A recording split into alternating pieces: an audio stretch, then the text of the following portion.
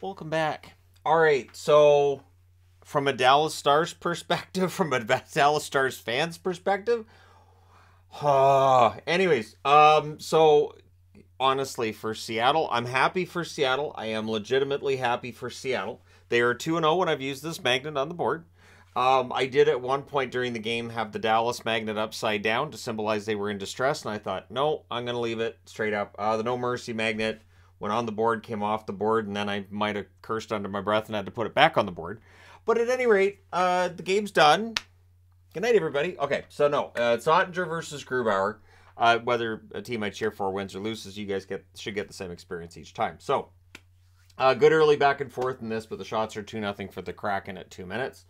Uh, Soucy with a hit on Marchment draws some cheers. Heiskanen has a shot that's held. We get some pushing. Fans boo an icing call. Seattle crowd really into this night. Really, really intense crowd, which always makes it more entertaining to watch. Uh, for anybody who watches wrestling, they had WWE events in Puerto Rico, and it made everything feel like a big deal when the crowd was into it all of a sudden. I was like, this, this is what you're sometimes missing. So when you have a good crowd, it makes a huge difference to how entertaining the game is. So Geekie's denied, the Stars clear. Oleksiak can't bury one as the Kraken press. They had some momentum. Hintz then has a shot that saved, the rebounds cleared. Pavelski has a shot that deflects high. Both goalies were sharp early. It would not stay that way, Oettinger. Uh, Domi and Fox have both had shots that are blocked. The Kraken in transition was really standing out. Basically, if it's a turnover, it's going the other way. I will say this if we end up with Seattle and Florida as the Stanley Cup final, A, I would expect that both ESPN and Rogers, in the southern side of the border, the northern side of the border, would be all up in arms about ratings because I can't see the ratings being that high if it was the Kraken and the Panthers. Um, maybe the curiosity factor would come into it, but I, I'm down. I'm down for a brand new Stanley Cup champion if we're going to see that this year. So, uh, yeah, dangerous in transition, sticks in lanes every shift too. Like they came out and they were forcing those turnovers. Kraken press. Larsson has a shot that's tipped wide. It's all stretch passes, and at least it's the attempts at the stretch passes by both teams. It felt like both teams were using the same strategies in the first period, and so it was kind of a, a, a chess match. Sprong has a wraparound chance that's blocked. Both teams playing a similar style. The counterattack, the good defense. Uh, Bjorkstrand has a slot shot that's caught and held. Geekie's denied and close. The rebound shot wide. The Kraken press in the final minute. Things are pushy on a hold by Oettinger, and lots of whistles in that first period. But coming out of the first, I heard about how that was pretty evenly played, and I thought um, the shots are more than two to one in favor of Seattle. So second period, Seguin fires one wide. Dadonov has a turnover chance that's saved, and Benn has a shot that's held. Uh, then there was a net feed to Schultz that was blocked, and then with Heiskanen down, and he did not come back into the game. He took a puck to the face. Uh, it was kind of a mess. They showed it, I don't know, 15 times. It felt like 15 times. I don't understand why they do this. So Eberle, because the whistle doesn't go, the whistle doesn't necessarily sound when a guy's down, and I know there's fans who get upset when that happens, but they don't they don't blow the whistle until Dallas gets the puck, and they didn't. So Eberle takes advantage. He scores from Cartier and Beniers at 2 minutes and 10 seconds. So Heiskanen did not return. I have no idea what his status is at this point. I wouldn't be surprised if he's out for a while. It depends on what kind of damage was done with that puck to the face. Uh, Seattle looks for another. Borgen has a shot that's held. There's more pressure, though, and then on a two on one, Wennberg wires it. He scores from Schwartz and Dunn. That's at 336. The Stars look to answer, but they turn it over again. Robertson then has a rush chance that's saved. Suter has a shot that's blocked. The Stars turn it over again.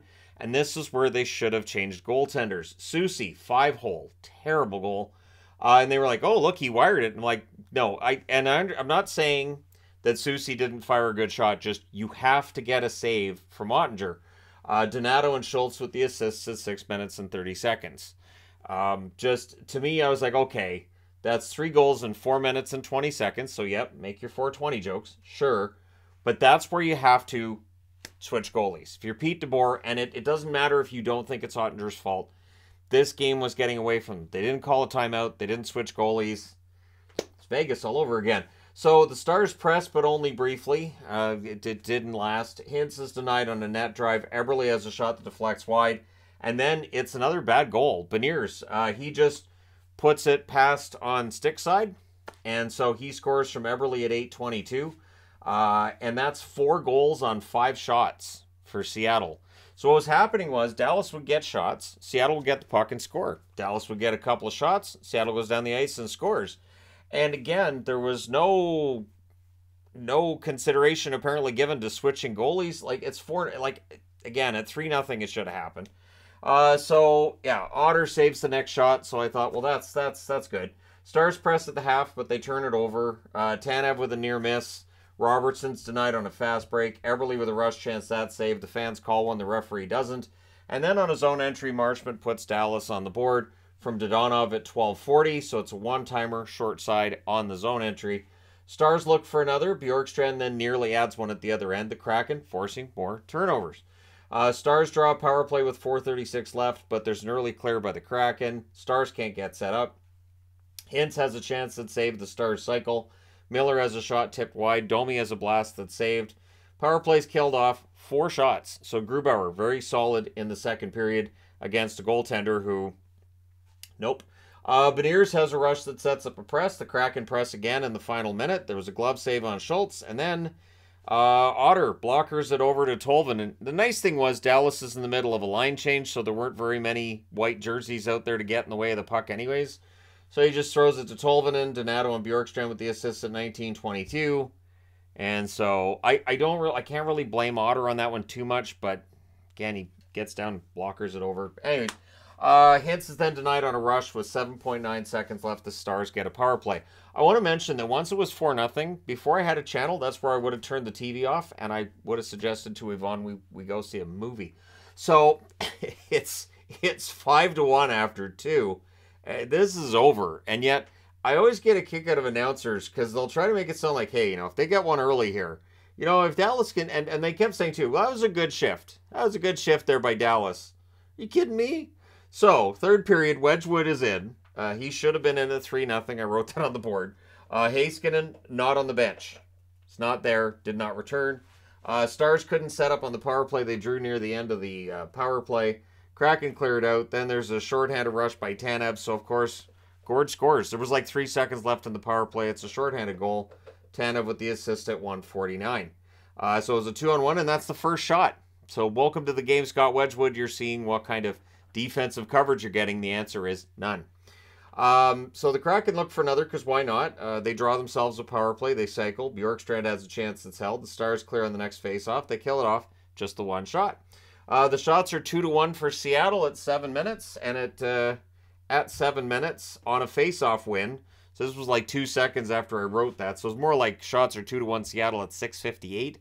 But at seven minutes, Hakanpää buries one on a face-off win from Ben which made it a, a mercy game. made it so I put back the NHL logo because then it was six to two. Has to be a five goal difference for the no mercy magnet, but yeah. Anyways, Kraken press for response. Wedgewood without a stick, but they don't score there. Don't worry, they would. Uh, Seattle working well to kill the clock. Really, that third period they did a good job. Yeah, Hakanpää gets goal on a faceoff, but what are you gonna do? Um, the faceoffs, I, I guess, are still an issue for Seattle, but they're heading the series, so I'm not sure how important it is. Uh, Seattle press are kept to the outside. Miller has a blast that's held. Um, and yeah, uh, 619 left. Dallas gets a power play. Kraken didn't let him set up. Uh, Wedgewood with a bit of a gaff, but Dallas recovers. Uh, it's killed off without really, I don't think there was a shot on net.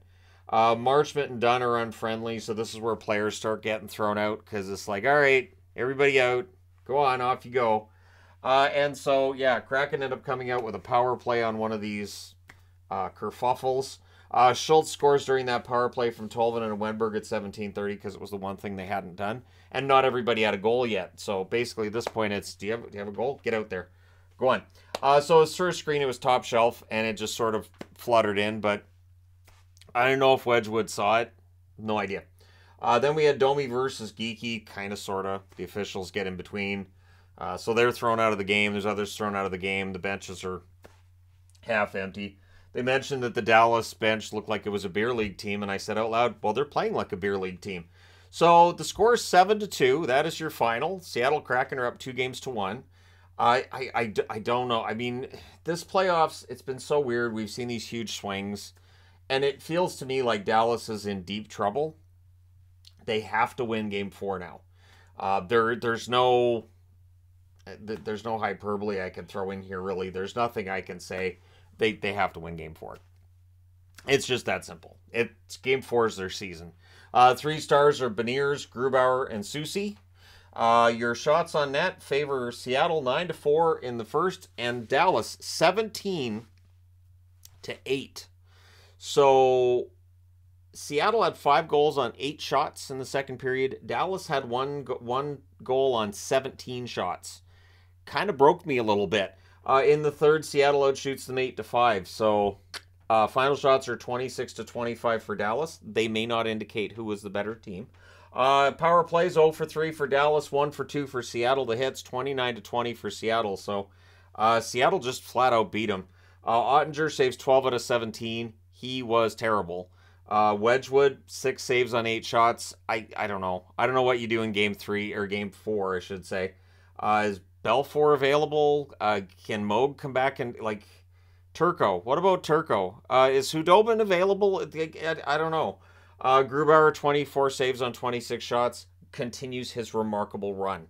Uh, this this redemption of Grubauer arc we've seen in these playoffs has been nothing short of remarkable, and it would be insane if Seattle knocks out Dallas because that means there would be no Central Division team in the conference finals. We'd end up with two Pacific teams against each other. Which hey, whether it's Seattle against Edmonton or Seattle against Vegas, we could have a tremendous uh, conference final. So there you go. Uh, I wore the Hockey Fights Cancer Seattle jersey because there are so few Seattle jerseys that I'll, I'll wear. I'll wear that one. Anyways, there you go. Let me know your thoughts in the comment section below. As always, congratulations to the Seattle Kraken and uh, Dallas. I I I don't. I anyways. it's just one of those things where I'm like, you know, at least people will watch the video. I can share my misery with others. But hey, you know, it, it's it's the playoffs. I'm kind of used to this. Uh, I've gone over this many, many times over. Teams I cheer for do not win in the playoffs. Makes it a little easier as you get older because you kind of expect it. All right, let me know your thoughts. Hit like and subscribe if you're browsing your way through. You just happened upon this video. Thank you guys so much for all your support. It does make it feel a little bit better to know that support's there. And uh, I will talk to you again soon.